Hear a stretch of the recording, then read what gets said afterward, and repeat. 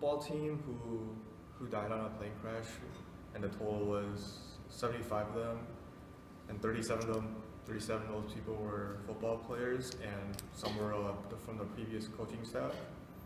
So this all took at a college called Marshall University, and the president there, uh, Donald Dedmon, he wanted to uh, get rid of the football program since they pretty much had nobody now, but with the support of the university students and the Huntington residents, he reconsidered the idea. So then Dedmon started calling people to fill the coaching position, but they all declined. So he went to Red Dawson, the only surviving uh, coach, was from the previous coaching staff. But he declined as he felt guilty because he, he recruited many of the football players that were on the plane. So then he got a call from Jack Lengyel requesting the position, the head, co uh, head coaching position. So, so eventually they had an idea where he wanted freshmen to play in the varsity football team, but that was against NCAA rules. So he asked Dedmon if he can go persuade them.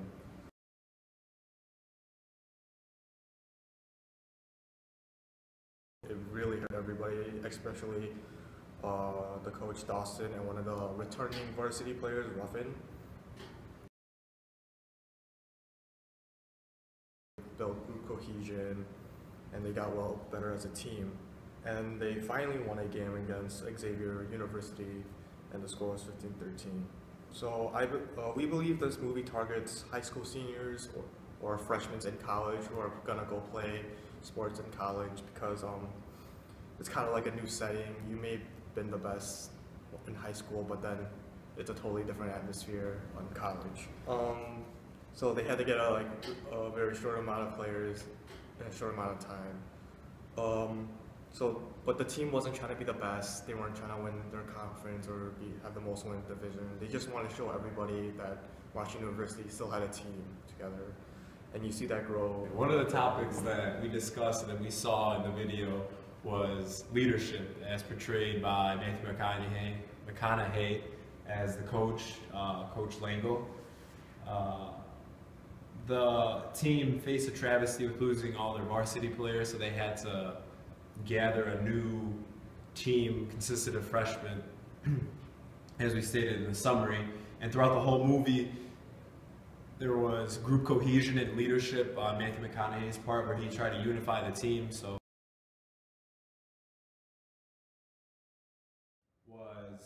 how he vocalizes to his players, his message to his players. So a key aspect to the movie was Matthew McConaughey's wording and how he words some things to his players. The job of a coach is to be an enforcer, a motivator, a leader. 1970 thundering herd. The plane crash that took their lives was so severe, so, so absolute, that their bodies were unable to be identified. So they were buried here, together. Six players, six teammates, six sons of Marshall. This is our past, gentlemen.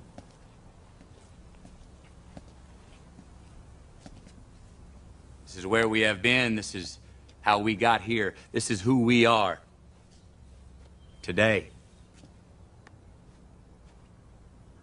I want to talk about our opponent this afternoon. They're bigger, faster, stronger, more experienced. And on paper, they're just better. And they know it too. But I want to tell you something that they don't know. They don't know your heart. I do. I've seen it. You have shown it to me. You have shown this coaching staff, your teammates. You have shown yourselves just exactly who you are in here. When you take that field today,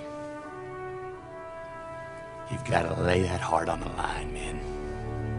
From the soles of your feet with every ounce of blood you've got in your body, lay it on the line until the final whistle blows. And if you do that, if you do that, we cannot lose. Coach Lengyel's determination and vision for the team was to still strive through adversity despite losing the varsity players that died in the plane crash. So he came in as the new head coach, and the expectations for the team, for the whole town, was to Matthew McConaughey did a good job as Coach Lengyel, and that that characteristic of his in the movie was a great example of leadership mm-hmm. and he motivated his players and despite them losing they still were taught a valuable lesson that goes beyond the sport and that's the role of a coach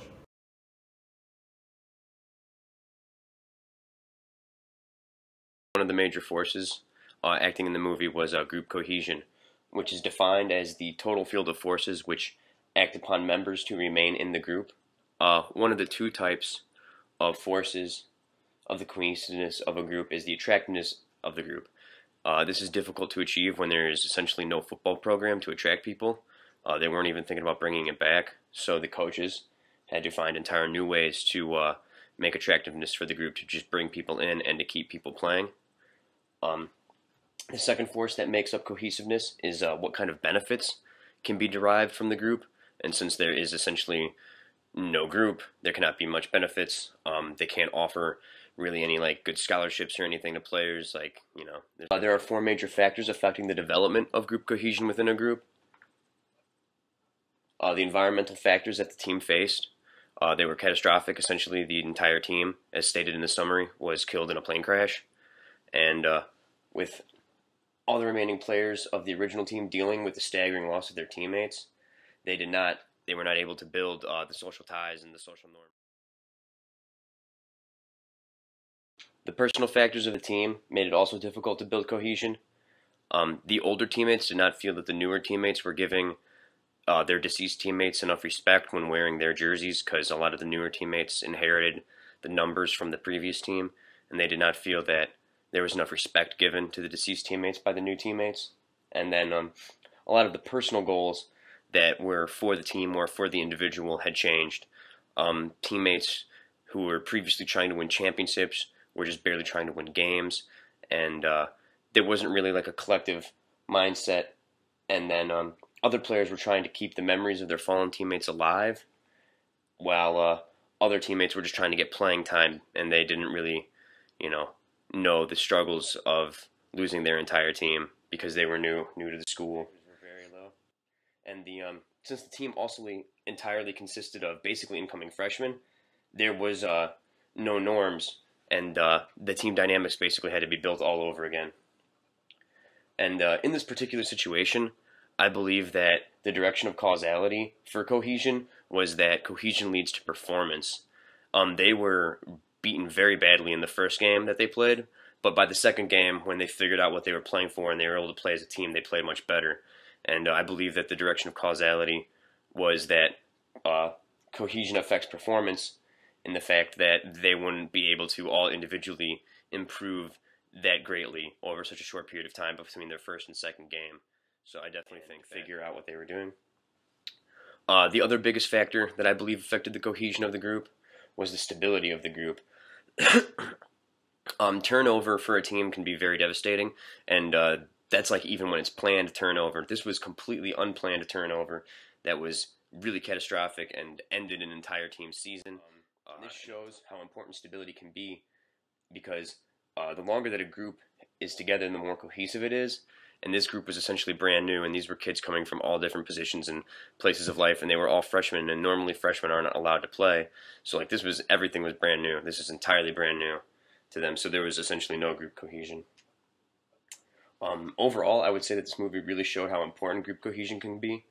Um, it showed how poorly a team can perform when it doesn't know how each other play and if they don't feel, you know, like they're represented well or know how to represent for their team. Um, I would agree with the way that the movie portrayed the importance of group cohesion. Coach Jack gave a speech at the memorial of some of the fallen teammates. Uh, these were teammates who bodies they were so badly burned they were unable to be identified, but uh, they were all buried as a team. And in the speech, he talks about how they were all buried as a team as sons of Marshall. And uh, I believe this was used as a metaphor, metaphor to the fact that this is how you will be remembered.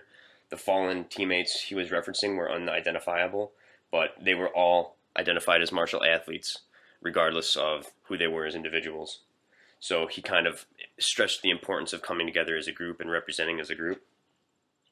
And he also stated that in the speech, how you play is how you will be remembered. And this emphasized the fact that how Marshall played today and as a team in the season is how they will be remembered when others are looking back on past seasons. They won't remember who they are as individuals, they remember who they are as a group and how well they played and whether or not they won. And he also references the fallen teammates in that speech, saying that every teammate will be watching every play, every snap you make, giving the further impression that this new team had big shoes to fill in order to come together the way that the first team did.